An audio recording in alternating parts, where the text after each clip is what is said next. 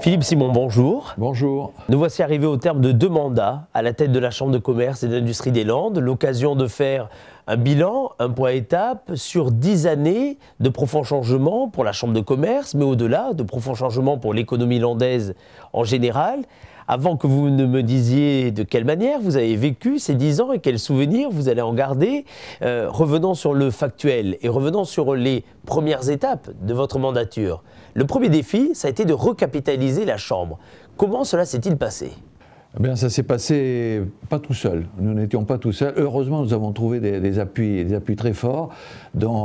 Et c'est surtout, le fait qu'on puisse faire sortir au Sénat et à, l'Assemblée euh, un amendement spécial Land et ainsi Spécial Land qui est, euh, malgré, malgré les, euh, beaucoup d'opposition, mais enfin nous avons été aidés par Alain Juppé qui était euh, maire de Bordeaux, ancien Premier ministre, et c'est surtout Renaud Dutreil qui a fait passer cet amendement alors même que ces services n'étaient pas forcément favorables. Contre, contre l'avis de ces services, et finalement, finalement, tout le monde, tout le monde craignait que, que ça fasse un stage d'huile dans, dans, les chambres de commerce, et en réalité, nous avons été des leaders dans ce domaine-là, et, grâce, à, grâce à cet amendement qui est passé, nous sommes maintenant dans un, dans un état financier correct euh, qui permet de tenir le coup, et qui permettra de tenir le coup dans l'avenir. Alors en parallèle, c'est tissé tout un maillage avec les forces vives, préfecture, service de l'État, conseil général d'ailleurs aussi, euh, très important, peut-être plus important que par le passé. C'était pour vous primordial de renouer les liens? Oui, oui, c'était absolument une volonté de ma part. Hein. Je voulais absolument que l'image de la Chambre soit une image d'ouverture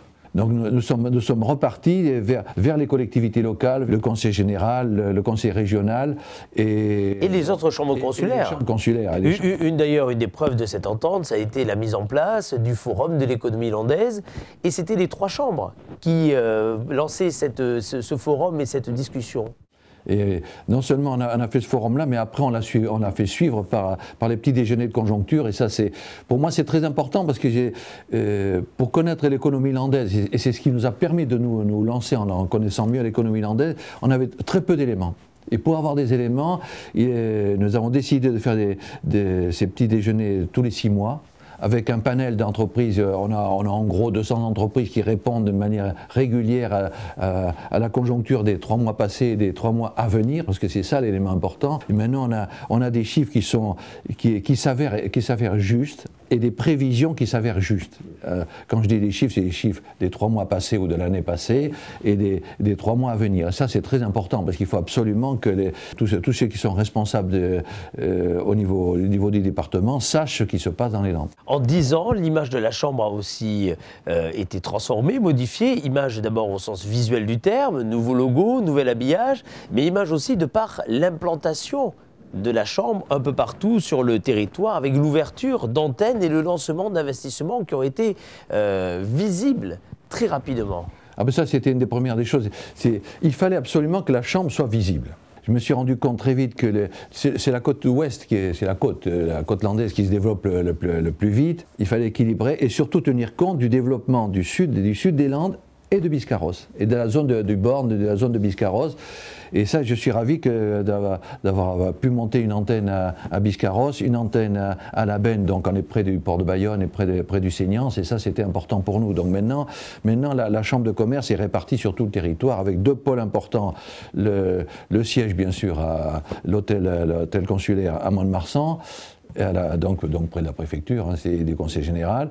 Dax qui est très important aussi. L'implantation était très bien trouvée, sauf qu'on avait une banque qui nous, bouchait le paysage. Donc euh, maintenant à Dax, nous, avons négocié avec, cette banque pour, euh, récupérer notre, bâtiment. Maintenant on a un très beau bâtiment. Un million d'euros d'investissement ont été faits sur ce bâtiment. Et, euh, et maintenant, en, plus de ça, on, est, on, est, on, sera sur la grande entrée de Dax. Dès que le nouveau pont sera fait, on sera sur la très grande entrée de Dax, donc sur l'avenue Clémenceau. Et là, on pouvait, je pense qu'on pouvait difficilement être mieux placé que, que nous le sommes maintenant et, plus visible, ce sera difficile. Oui, parce que le but de, ces investissements, c'est de créer des structures qui soient plus adaptées aux besoins des chefs d'entreprise. C'est aussi ça qui a prévalu aux grands travaux et aux grands changements de l'hôtel consulaire dans lequel nous sommes, qui s'est mué en véritable centre de conférences et de séminaires. Mais pourquoi? Parce qu'on s'est rendu compte qu'à Mont-de-Marsan, on avait un problème. De, les, entrepreneurs ont un, ont un, problème. À la Chambre, il manquait une, salle de conférence digne de ce nom, donc on, a, on en a construit une. Et la, la première des choses, c'était de pouvoir faire venir des conférenciers à niveau international. On peut réunir, euh, avec tous les moyens modernes que nous avons, 480 à 500 personnes. Donc ça, c'est important maintenant. Et nous avons, en un an, dans ce centre de conférence, nous avons réuni, euh, je crois, je crois qu'il est venu 7700 à 7800 entrepreneurs. Donc c'est un succès formidable. 5 millions d'investissements ont été nécessaires pour, euh, pour cet outil euh, performant, vous le disiez, doté des, meilleurs, de, de la meilleure technologie. J'insiste sur le fait que c'est un outil vraiment à la disposition de tous les entrepreneurs landais. Hein. Ce n'est pas réservé au service de la Chambre. Parce qu'on pourrait avoir cette image gadget, on est bien d'accord que le principe, c'était au contraire de donner des outils pour permettre à l'économie de, de continuer à se développer et à la formation et on va y venir, euh, de s'exercer dans les meilleures conditions possibles parce que la formation, c'est un de vos leitmotifs, formation des chefs d'entreprise et de leurs collaborateurs. La crise nous a, nous a bousculés. Alors moi je me suis dit comment, comment réagir à la crise et surtout dans, le meuble. C'était la, la, zone d'Agetmo qui était très touchée. On ne fait plus rien sans design. Le design est en amont maintenant et, et, j'ai bien vu que les Landes et le Sud-Ouest étaient, étaient pauvres en design. Donc, euh, donc on a foncé, véritablement. Après avoir modernisé les bâtiments, on s'est dit maintenant, on fonce sur la, sur la formation, on fonce sur le design.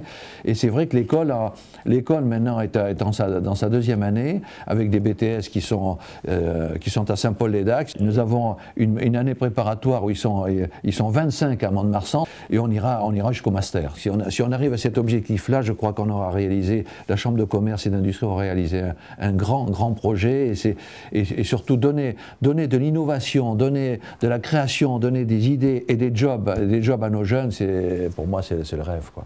Alors, d'une manière générale, pendant dix ans, la CCI aura aidé, soutenu et fait entendre la voix des entrepreneurs sur tous les grands enjeux qui touchent le territoire. Euh, le travail de lobbying pour l'autoroute A65, il faut le rappeler, a été véritablement conséquent de la part de la Chambre de commerce. On ne peut pas laisser Mont-de-Marsan enclavé comme elle l'était. On a investi à Mont-de-Marsan le maximum parce qu'on savait que, et on y croyait que l'autoroute allait venir. On a, on a lancé l'idée de la gare, la, gare la nouvelle gare euh, LGV de Mont-de-Marsan. C'est nous qui l'avons lancé, c'est la Chambre. Là, je revendique l'idée de, la, de la gare à Mont-de-Marsan. C'est la Chambre de commerce qui a eu cette idée-là.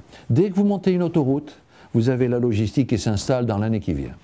La logistique d'abord, après ce sont des bureaux, après ce sont des, usines. Les usines arrivent euh, plusieurs années après. Et pour nous, c'est capital. Si on arrive, si on a, si avec les, nouveaux carrefours, les nouveaux diffuseurs, euh, vous allez voir qu'il va, il va y avoir une ville continue de Mont-de-Marsan à Roquefort. Chaque fois que vous êtes intervenu sur ces dossiers, vous avez pris le temps de commander des études, des enquêtes. Cette méthode-là, qui est finalement d'avancer avec des faits et du factuel, c'est une patte Philippe Simon ça, je réfléchis toujours et je veux savoir, où je vais. la chambre de commerce, elle est là pour faire de l'économie, pour lancer l'économie, pour l'étudier, l'évaluer et la pousser donc, et, aider les entrepreneurs. Donc, euh, je ne peux pas me permettre de parler, de, parler dans le vague. Hein, Philippe Simon, on, le sent bien, vous êtes un homme de conviction, ce qui explique que la CCI a fait souvent entendre sa voix sur le département. On en a parlé au cours des dix années passées. La CCI des Landes a aussi beaucoup fait parler d'elle et a fait entendre sa voix de manière très forte lorsqu'il s'agit de parler au niveau national de la réforme euh, des chambres consulaires. Avec d'autres présidents, euh, d'autres directeurs de chambres, vous, vous, avez, vous avez mené campagne, on peut le dire ainsi, hein, pour faire changer les, idées reçues. Est-ce qu'on peut dire que vous êtes satisfait de ce qui a été obtenu euh, de haute lutte? Euh, c'est déjà pas mal. Moi, je suis un défenseur des territoires. Quand on, quand on est convaincu de la, de la, puissance de son territoire, de la puissance, du potentiel de son territoire, euh, on ne peut pas se laisser balayer comme, comme les Parisiens ont essayé de le faire. Mais enfin, on a notre statut, on est libre de nos objectifs, on est libre de soutenir les, entreprises, et ça, c'est une excellente chose. On a gardé notre patrimoine.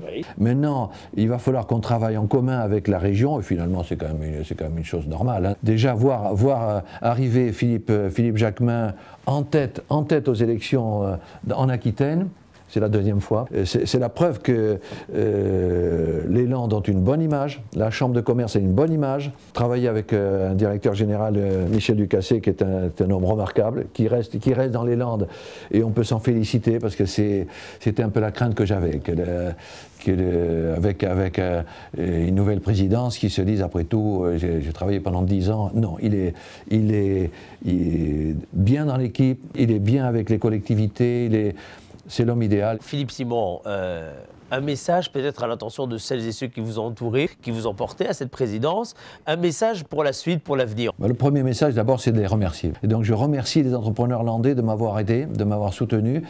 Euh, je pense qu'ils ont un travail énorme à faire à la Chambre. Euh, en, tant que contact. Il faut qu'ils se contactent et il faut qu'il y ait du transversal. Il faut soutenir, soutenir les entrepreneurs landais qui sont, extrêmement dynamiques.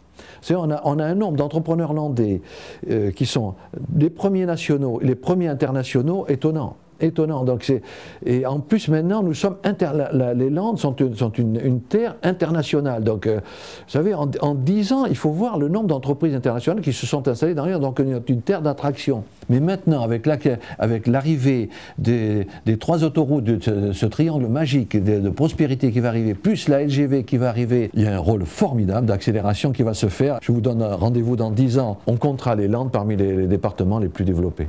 Merci beaucoup Philippe Simon pour cet entretien.